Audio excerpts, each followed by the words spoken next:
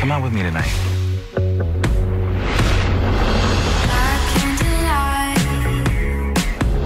Dr. Grey? I'm sorry. Say that. Everything you just said, say again. You to talk to you about Brittany. I think you know her as Betty.